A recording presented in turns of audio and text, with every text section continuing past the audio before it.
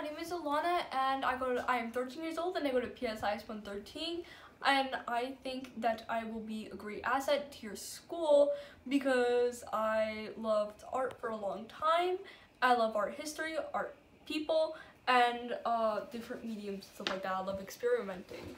Here is my art piece number one. Uh, I was really inspired by Frida Kahlo, so I tried to do something like that, but a lot more realistic since that was what we are looking for.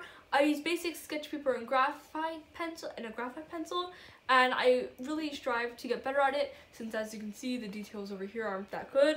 Uh, I am pretty good at shading, I just am not putting in the face. So I am trying to get better at that. Uh, this is my still life and uh, for my still life I know a lot of people do fruit bowls and stuff like that as you showed in like the example videos. So I tried to do something different. I did a candle, uh, a combat shoe without the laces, uh, and I did an ordinary shoebox since I had recently bought those. Uh, so yeah, I really love the shading on this one. Here are some other examples of my artworks. Um, this one uh, was to show my shading a lot better. I did this one with charcoal and they did these two with marker. This one is inspired by the Izume tattoo art style. I really love how that looks and it's basically Japanese traditional art of a koi fish.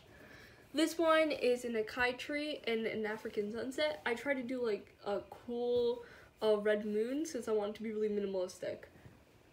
Uh, this piece right here is uh, Cubism art style. I was inspired by Picasso and I used marker with it. For this piece I used Posca pens for like the seashell on a seashell. And all this is done on ordinary sketch paper.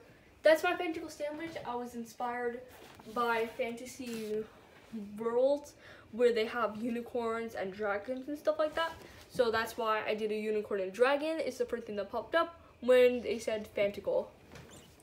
Here is my piece by uh, inspired by Kolinsky. I did it on a canvas. It is the only canvas drawing I have, and it is complementary style, and it's in watercolor. So yeah, I already mentioned this one. Remember?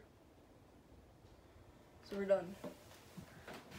Thank you for um, watching this video. I really hoped you were uh, thought about taking me into your art school, and I love art and I want to do this my way.